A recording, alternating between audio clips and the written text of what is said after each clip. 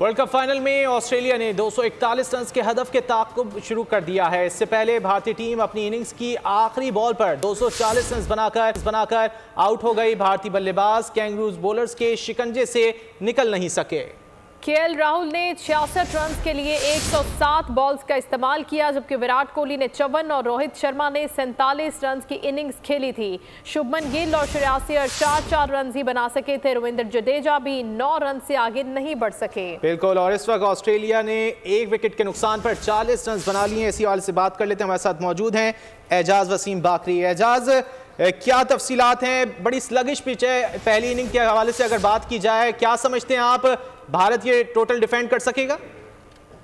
देखिए विकेट तो बिल्कुल स्लो विकेट है और स्लो विकेट के ऊपर इंडिया ने पहले बैटिंग की जिसमें उनके बल्लेबाजों को उससे जो तो थी तो वो स्कोर नहीं कर सके हैं। और अब विकेट अभी भी स्लो है विकेट में कोई खास चेंज नहीं आया। आधे घंटे के बाद दूसरी इनिंग स्टार्ट हुई है। लेकिन ऑस्ट्रेलियंस ने अग्रेसिव स्टार्ट लिया है। एक विकेट उनका ज़रूर गिरा है, लेकिन वो अग्रेसिवली खेलते जा रहे हैं और तीन इशारिया अभी चार ओवर भी पूरे नहीं हुए हैं। चालीस रन बनाने का मतलब ये है कि उन्होंने जो हिकमत अमली पहले दस ओवर की सोची हुई है उसके तहत वो फंसाने की कोशिश कर रहे हैं। आपको मालूम है कि इससे पहले कोलकाता में भी ऑस्ट्रेलिया ने इसी इसी तरीके से एक लो स्कोरिंग टारगेट चेज करना था जहाँ पर सात विकेटें उनकी 213 रन चेज करते हुए गिरी है। तो इंडिया की तरफ़ से अटैक किया जा रहा है लेकिन ऑस्ट्रेलियंस इस वक्त आगे हैं क्योंकि उन्होंने आते साथ ही जो बॉलर्स पे अटैक किया है और अभी चार ओवर हुए हैं। तो ऑस्ट्रेलिया जो है वो प्रेशर में नहीं आना चाह रहा और वो इंडिया को अभी भी प्रेशर में रखा हुआ है। जी। अच्छा एजाज मिचेल स्टार की जानब से बड़ी बेहतरीन बॉलिंग की गई, तीन खिलाड़ियों को आउट किया उन्होंने और मैच के बाद, पहली इनिंग के बाद जब गुफ्तु कर रहे थे, उनकी जानब से कहा गया कि पिच थोड़ी स्लो है और वो उम्मीद कर रहे थे कि अगर दूसरी इनिंग में थोड़ी ओस पड़ती है तो फिर आसान हो जाएगा ऑस्ट्रेलिया के लिए बैटिंग करना। आप क्या समझते हैं, क्या अगर ओस पड़ती है तो और ईजी हो जाएगा क्योंकि टोटल पहले ही कम है? बिल्कुल क्योंकि ऑस जब पड़ती है तो हर गेंद जो है ना वो बॉलर को खुश करके देना होता है बल्लेबाज फील्डर्स की तरफ़ से। तो जिससे बॉलिंग साइड बहुत प्रेशर में रहती है। और आप देखें फिर ऑस्ट्रेलियंस का जो अग्रेशन है वो उस ऑस से भी ज़्यादा इंडिया के लिए खतरनाक है क्योंकि वो, वो गेम के अपने आप को नीचे नहीं ला रहे उन्होंने अपने आप को गेम में अप रखा हुआ है। यही चीज़ है कि इंडिया के पास अब यही है कि विकटें हासिल करें। और विकटें जो है वो ओस पढ़ने की मदद से उनको शायद ना मिले और ऑस्ट्रेलियन इसी तरीके से अग्रेसिवली खेलते रहेंगे। जहाँ पर भी ऑस्ट्रेलिया ने इंडिया की तरह बैटिंग की, आप देखें कि इंडिया की इनिंग्स के उनतीस ओवर्स के दौरान सिर्फ़ दो चौके लगे, उनतीस ओवर्स में दो चौके, और वो टीम जो इस वर्ल्ड कप के अंदर ज़बरदस्त बैटिंग करती चले आ रही थी। तो ऑस्ट्रेलियंस ने एक तो कंडीशन बहुत अच्छे से यूज़ किया और उनके कप्तान ने खुद भी बॉलिंग अच्छी की और कप्तानी बहुत अच्छी की। क्योंकि टॉस जीतने के बाद उसने जब ये फैसला किया था कि हम पहले इंडिया को बैटिंग कराते हैं तो इंडिया तो पिछले पाँच वर्ल्ड कप के जो आखिरी मैचेस हैं वहाँ पहले 300 रन करता चला आ रहा है। 300 प्लस रन है पिछले पाँच वनडे मैचेस में इंक्लूडिंग सेमीफाइनल तो उसका फैसला बड़ा दलेराना था और उसने कंडीशन को ऑस्ट्रेलिया कप्तान ने बहुत बेहतर तरीके से रीड किया और फिर टॉस की लक भी उनके हक में गई है। सही सही। एजाज इसी ग्राउंड पे अगर बात की जाए तो पाकिस्तान ने एक रन का हदफ दिया था भारत को और भारत ने 30 ओवर्स में बना लिया था। आप समझते हैं कि आज भी वैसे ही होने जा रहा है क्योंकि स्कोर खासा कम है भारत की जानब से। अब बिल्कुल ये जो विकेट है अहमदाबाद के नरेंद्र मोदी स्टेडियम का पाकिस्तान और और इंडिया के मैच में जो विकेट इस्तेमाल हुआ था वही सेम पिच इस्तेमाल हो रहा है। ये राइट या लेफ़्ट वाला विकेट नहीं है वही सेम विकेट है जिस पर पाकिस्तान ने पहले बैटिंग की थी और पाकिस्तान भी एक सौ निन्यानवे रन पे आउट हुआ था। 200 रन भी पाकिस्तान पूरे नहीं कर सका था। तो दूसरी इनिंग्स के अंदर फिर पाकिस्तान ने बॉलिंग तो बेहतर की थी लेकिन टारगेट इतना कम था कि रोहित शर्मा ने ऊपर से अटैक कर दिया और वही ऑस्ट्रेलवी इस हिकमत अमली के साथ कर रहे हैं। ऑस्ट्रेलिया के पास क्योंकि सबसे जो बेस्ट मेमोरी है वो उनका पिछला सेमीफाइनल है जो तीन दिन पहले उन्होंने इसी तरीके से एक लो स्कोरिंग को चेज करते हुए सात विकेटें गवा दी थी। हम्म। तो अब वो उस डिफेंसिव अंदाज में नहीं जाएँगे इसलिए उन्होंने अटैक किया हुआ इंडियन बॉलर्स के ऊपर। ठीक है डिफेंसिव अंदाज में तो नहीं जाएँगे एजाज लेकिन इस वक्त ऑस्ट्रेलिया की दूसरी विकेट गिर गई इकतालीस रन पर और मिचेल मार्श पंद्रह रन बनाकर पवेलियन लौट गए हैं। चार अशारिया तीन ओवर्स में ऑस्ट्रेलिया की जानब से इकतालीस रन बनाए हैं और ऑस्ट्रेलिया की दो विकटें गिर गई हैं। अब देखते हैं कि बाकी आने वाले बल्लेबाज किस तरह की कारकर्दगी दिखाते हैं। बहुत शुक्रिया एजाज। वर्ल्ड कप में अब तक कोई मैच न हारने वाली भारतीय टीम ने फाइनल में तवक्कुआत के बरखिलाफ कारकर्दगी पेश की। अपने हीरोज़ की नाकिस परफॉर्मेंस देखकर सपोर्टर्स का रंग फक हो गया। भारतीय इनिंग्स के दौरान हर गिरने वाली विकेट पर एक लाख बत्तीस हज़ार तमाशाई की गुंजाइश वाले स्टेडियम में मौत का सन्नाटा छा गया। वर्ल्ड कप का फातेह सिर्फ़ जगमगाती ट्रॉफी का हकदार नहीं ठहरेगा, बल्कि 40 लाख डॉलर्स का इनाम भी पाएगा। फाइनल हारने वाला भी खाली हाथ नहीं जाएगा। दो मिलियन डॉलर से उनको भी नवाजा जाएगा। सेमीफाइनल हारने वाली टीम को आठ लाख डॉलर्स दिए जाएँगे। कप के फाइनल में फलस्तीन की हिमायत में शर्ट पहने एक शख्स ग्राउंड में दाखिल हुआ। भारत की बैटिंग के दौरान एक मौके पर कुछ देर के लिए मैच को उस वक्त रोकना पड़ा, जब फ्री फलस्तीन की शर्ट पहने ये नौजवान ग्राउंड में दाखिल हुआ और भारतीय बैटर विराट कोहली तक पहुँच गया। ग्राउंड इंतजामिया फौरी तौर पर मुतहरिक हुई और मुतल शख्स को पकड़कर ग्राउंड से बाहर ले गई। और अब खबर सियासत के मैदान से। तहरीक इंसाफ के लिए एक और बड़ा सियासी झटका सबक विफाकी वज़ीर अली नवाज़ आवान मंजर आम पर आ गए। अली नवाज़ आवान की लाहौर में आई पी पी के patron in chief Jahangir Tareen और सदर इसकाम पाकिस्तान पार्टी अली, अलीम खान से मुलाकात। मुलाकात में ओन चौधरी और आई पी पी की दीगर क़्यादत शरीक हुई। सबक विफाकी वज़ीर, तहरीक इंसाफ के रहनुमा अली नवाज़ आवान का इसकाम पाकिस्तान पार्टी में शमूलियत का फैसला। जहांगीर तरीन और अब्दुल अलीम खान ने अली नवाज़ आवान को आई पी पी में शमूलियत पर खुश आमदीद कहा। शरीक chairman Peoples Party Asif Zardari ने इलेक्शन कमीशन पर भरपूर एतमाद का इजहार किया है। अपने बयान में उन्होंने पीपल्स पार्टी की फतह की पेशगोई भी की। कहा, मुल्क शफाफ इंतबात की तरफ़ जा रहा है। इस वक्त माहौल इंतबात के लिए साजगार है। इलेक्शन वक्त पर होने चाहिए। पीपल्स पार्टी वाहिद जमात है, जो हर तरह के माहौल में इलेक्शन लड़ने की सलाहियत रखती है। कोई लाडला नहीं, निज़ाम इंसाफ से गुजर कर सुरखरू हो रहे हैं। लीगी रहनुमा मरियम औरंगज़ेब का दावा, कहती हैं चेयरमैन पी टी आई को तरक्की करते पाकिस्तान पर मुसलत किया गया। पिछले पाँच साल मुल्क के निज़ाम इंसाफ के साथ खिलवाड़ होता रहा। ये लोग हमारे खिलाफ एक रुपये की करप्शन साबित नहीं कर सके। ये जो आज का तासर है ना कि लाडले और फैसले आ रहे हैं फैसले आ रहे हैं आज। अगर निज़ाम इंसाफ अपने ऊपर लगे, धब्बे धो रहा है, वो झूठे मुकदमात में अपने इल्ज़ाम का जवाब देकर, एहतसाब की चक्की से गुजर कर अगर आज सुरखरू हो रहे हैं तो ये लाडलापन ये लाडलापन नहीं है। ये वो फैसले हैं जो जिस वक्त बनाए, मुकदमे हैं जो जिस वक्त बनाए गए थे, जो एविडेंस आ रहा था, उस वक्त भी जो शवायद आ रहे थे। पाकिस्तान की आवाम ये जानती थी कि ये झूठे मुकदमे आई एम एफ़ को खैर बात कह के नवाज़ शरीफ ने मुल्क की मीशत को इस्तेकाम काम दिया। था तो हम तो आज वहीं बैठे हैं, सुरखरू होकर बैठे हैं, लेकिन कितना नुकसान पाकिस्तान की आवाम को हो गया इसको रोज़गार मिल रहा था। ये झूठे मुकदमात बनाकर हमने तो इसका सामना किया। लेकिन आज किस से पूछा जाए, किसका गला पकड़ा जाए कि क्यों आज मुल्क के अंदर ये महँगाई है? सेक्रेटरी इतलाफ पीपल्स पार्टी फैसल करीम कुंडी ने हाफिज हुसैन के बयान पर रद्दमल में कहा है कि chairman Peoples Party Bilawal Bhutto के बयानिए की गलत तशरी करके हाफिज साहब किसकी नौकरी कर रहे हैं। हाफिज हुसैन अहमद ये बताएँ कि उन्हें जे यू आई से क्यों निकाला गया? उन्होंने कहा कि हाफिज़ हुसैन को कुछ वजूहत की बिना पर जे यू आई ने आग किया था। ज़रा लब कुशाई करें हाफिज़ हुसैन ना आलिम दीन बन सकते हैं, ना सियासतदान, सिर्फ़ मसखरा बन सकते हैं।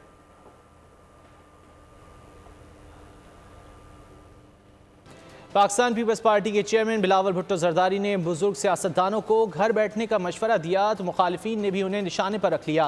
लीगी रहनुमा राना सनाउल्ला ने कहा कि बिलावल सत्तर साल बुज़ुर्ग से गाइडलाइन न लें। बिलावल भुट्टो का पिशावर में इंतहाई जोशीला खिताब। बिलावल जोश खिताबत में ऐसे बहके के इन्हें पहले तो लो फिर बोलो का कौल भी याद न रहा। मेरा नहीं ये पाकिस्तान के अवाम का मुतालबा है। पाकिस्तान के नौजवानों का किसी को आप चौथा दफ़ा वज़ीर आज़म बनाने के बजाय पाकिस्तान का नौजवान नस्ल के लिए रास्ता बनाए ताकि हम इस मुल्क की नुमाइंदगी कर सके। बिलावल ने बुज़ुर्गों को अल्लाह अल्लाह करने का मशवरा दे तो दिया मगर वो पलट कर इन्हीं की जानब आ गया। लेकिन रहनुमा राना सनाउल्ला ने तंज के तीर चला दिए।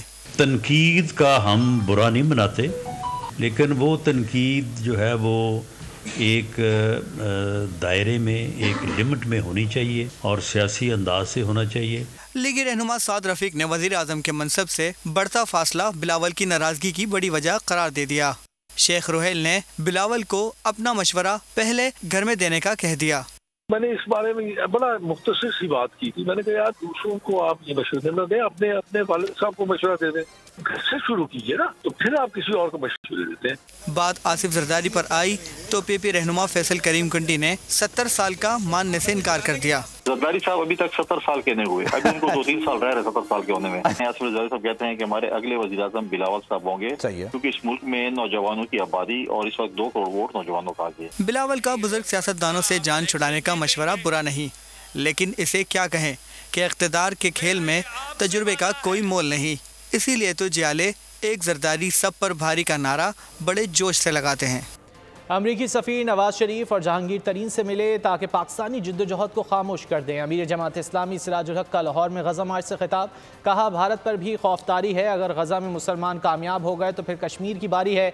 इसलिए वो इसराइल का साथ दे रहे हैं। जिन्होंने मस्जिद अक्सा पर कब्जा किया, उन्नीस सौ उनहत्तर में आग लगाई, वो तो हमारा तो दुश्मन है। इंसानियत का भी दुश्मन है। वाशिंगटन, लंदन के लोगों का शुक्रिया, जिन्होंने बिला तफरीक मुजाहरे करके गजा का साथ दिया।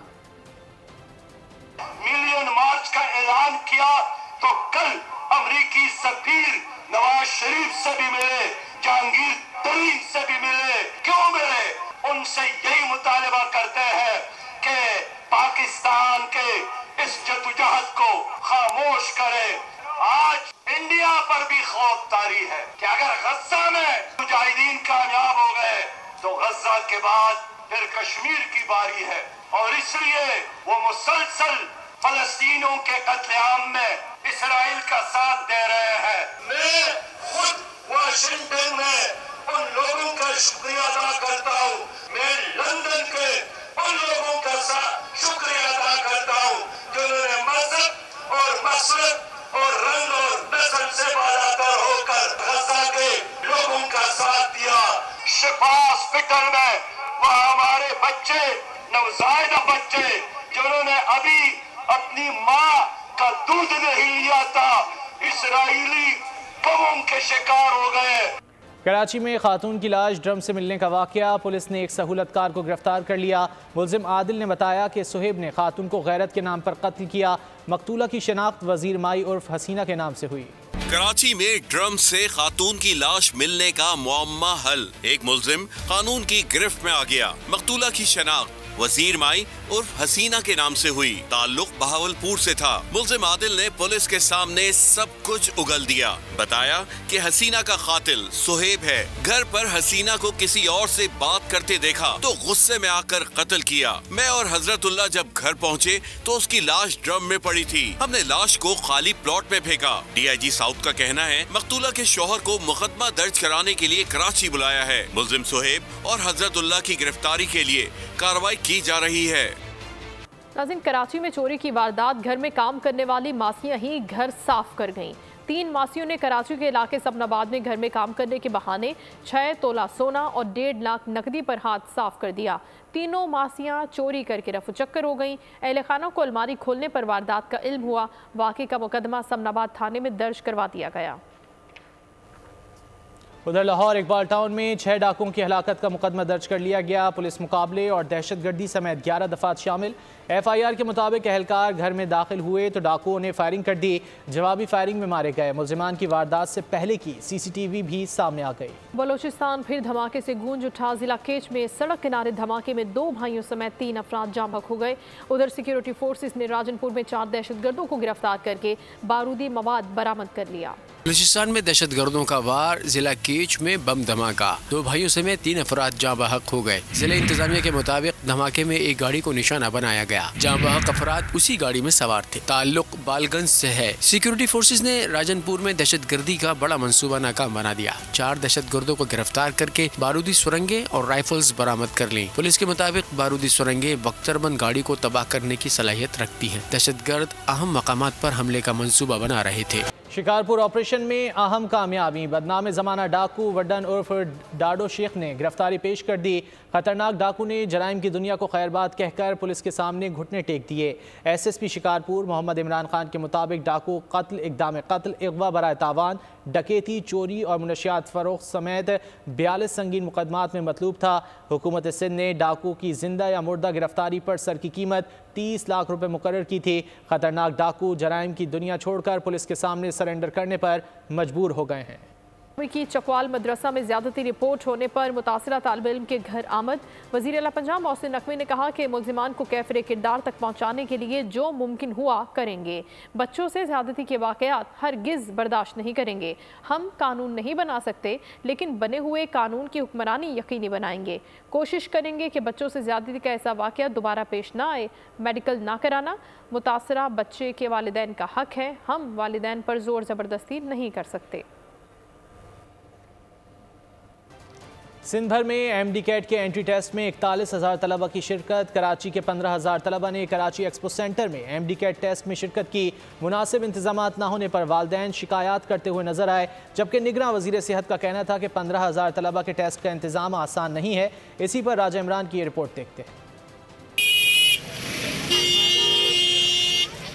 सुप्रीम कोर्ट का हुक्म सिंध भर में एम डी केट के टेस्ट का दोबारा इनका। एंट्री टेस्ट डॉ यूनिवर्सिटी की इंतजामिया के जेर निगरानी लिया गया जिसमें पंद्रह हज़ार तलबा ने शिरकत की। टेस्ट के लिए हज़ारों उम्मीदवार एक्सपो सेंटर पहुँचे तो बदतरीन ट्रैफ़िक जाम हो गया जिसकी वजह से टेस्ट एक घंटा ताखिर से शुरू हुआ। कई तलबा टेस्ट में शिरकत से महरूम रहे। रास्ता भी नहीं मिल रहा था इतने दूर से आए और ये लोग अंदर अभी जाने नहीं दे रहे हैं। हमने इनको इतना बोला है लेट किसी वजह से हुई होगी हम जानबूझ के तो लेट नहीं हुए ना। मैं गुलशन अदीद तक गया हूँ। इधर से फिर वापसी आया हूँ तो अभी ये लोग बोल रहे हैं कि अब नहीं छोड़ेंगे हम। टाइम खत्म हो गया। बीस मिनट हो गए मैं यहाँ पर आते हुए लेकिन ये अंदर नहीं छोड़े। पुलिस वाले भी कोई एक्शन नहीं ले रहे ना ही कोई रेस्पॉन्स ले रहे हैं। निगरान वज़ीर सेहत डॉक्टर साद नियाज ने एक्सपो सेंटर का दौरा किया। उन्होंने इंतज़ाम को बेहतर करार दिया। उनका कहना था की पंद्रह हज़ार बच्चों का टेस्ट लेना आसान काम नहीं। ये जो एग्ज़ाम कंडक्ट करना है इकतालीस हज़ार बच्चों का ये ज़ाहिर एक बहुत बड़ा टास्क है। हमारी जो अपनी इन्फॉर्मेशन है या जो हमने देखा है जिस तरह से ये हुआ है इसमें ये पॉसिबल इंशाल्लाह नहीं एम डी केट के इंतज़ाम पर तलबा के वालदेन का कहना है दोबारा टेस्ट देने की वजह से तलबा जहनी तौर पर मुतासर हुए हैं। इस बार शफाफियत को यकीनी बनाया जाए। टेस्ट जो है दोबारा इन्होंने जो लिया है पहले भी पिछले साल भी डाव वालों ने लिया था। तो कोर्स के आउट ऑफ़ कोर्स दिया था। ये इनकी जो मैनेजमेंट है या वो पेपर्स देते हैं वो सही नहीं है। महीनों की मेहनत के बाद आप एक टेस्ट देते हैं और उस टेस्ट होने के बाद आपको पता चलता है कि जी ये टेस्ट कैंसिल हो गया नया टेस्ट दूसरा टेस्ट होगा। बच्चे डिसअपॉइंटेड थे। कराची के अलावा जामशोर नवाबशाह और लाड़काना में भी एम डी केट का इनका किया गया। M D CAT entry test देने वाले बच्चों और वालदेन का कहना है की दूसरों की गलतियों का खमियाजा तलबा भुगत रहे हैं जिसकी वजह से वो जनी तनाव का शिकार हैं। कैमरामैन अजमल शाह के साथ राजा इमरान बोल न्यूज़ कराची। ग्रीन टेक्नोलॉजी के इस्तेमाल से माहौलियाती आलूदगी को ख़त्म करने का आज़म डेवो एक्सप्रेस ने बड़ा कदम उठा लिया। डेवो एक्सप्रेस का पाकिस्तान में इलेक्ट्रिक गाड़ियाँ मुतारफ करवाने का मंसूबा, इंटरसिटी ट्रांसपोर्ट सर्विस फराहम करने वाला नामवर इदारा, कराची और लाहौर के लिए 200 इलेक्ट्रिक बसें और 1000 इलेक्ट्रिक रिक्शे सड़कों पर लाएगा। माहौलियाती आलूदगी के खात्मे के लिए पुरअज़म डेवो एक्सप्रेस कंपनी का बड़ा फैसला। धुआँ छोड़ती, धूल उड़ाती टूटी फूटी बसों से जान छुड़ाने का वक्त आ गया। डेवो एक्सप्रेस ने पाकिस्तान में माहौल दोस्त, इलेक्ट्रिक गाड़ियाँ मुतारिफ कराने की तैयारी कर ली। मारूफ इदारे, डेवो एक्सप्रेस ने पाकिस्तान में 200 इंटरसिटी इलेक्ट्रिक बसें और कराची और लाहौर के लिए मजीद 1000 इलेक्ट्रिक रिक्शे सड़कों पर लाने का मंसूबा बना लिया। हमने इस पे ये प्लान बनाया है कि हम पहल करें इसमें और पाकिस्तान में ये जो डीजल या फॉसिल फ्यूल बेस्ड जो ट्रांसपोर्ट है इससे माइग्रेट करके ट्रांजिशन करें टू फुल इलेक्ट्रिक बसेस।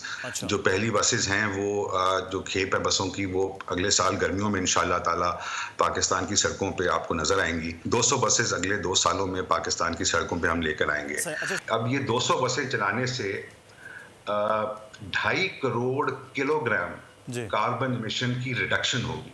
अवाम कहते हैं कि जदीद ट्रांसपोर्ट आने से बेहतरीन सफरी सहूलियात मिलेंगी। It's very positive private sectors works works more frequently and बहुत मेंटेनेंस रहता है and it's gonna be useful for everyone Daewoo ने एक इलेक्ट्रिक बस माहौल दोस्त एक न्यू बस मुतारिफ करवाई है जिसका पाकिस्तान की सड़कों में ये जो पोल्यूशन का जो एक एरिया था उसने उसको काफ़ी हद तक कवर किया है। इन्होंने ये जो अब काम किया है ना अवाम दोस्त, यानी इलेक्ट्रॉनिक जो बस आज़ाद की इन्होंने डेबो, ये बड़ा अच्छा काम किया है। इस मंसूबे पर अगले दो बरसों में बतदरीज अमल दरामद होगा, जो पाकिस्तान में इलेक्ट्रिक बसों पर मबनी पहली इंटर सिटी बस सर्विस होगी। डेवो एक्सप्रेस के जनरल मैनेजर शहरियार हसन का कहना है कि कंपनी ने जदीद तरीन ट्रांसपोर्ट टेक्नोलॉजी मुतारिफ कराने के साथ साथ माहौलियात के तहफ़ के लिए पहल की है। ग्रीन टेक्नोलॉजी के इस्तेमाल से एयर क्वालिटी इंडेक्स की सतह को बेहतर बनाने में मदद मिलेगी। ये 200 इलेक्ट्रिक बसें मुल्क भर में कराची तक हैदराबाद, पिशावर से रावलपिंडी, लाहौर से फैसलाबाद, लाहौर से सियालकोट वगैरह जैसे 17 मुख्तसर रूट्स पर चलेंगी। कंपनी को तो है कि इलेक्ट्रिक बसें अगले साल मौसम गर्मा में सड़कों पर आ जाएँगी और तमाम 200 बसें 2026 के वस्त तक काम शुरू कर देंगी। इलेक्ट्रिक बसों का ज़्यादा से ज़्यादा फासला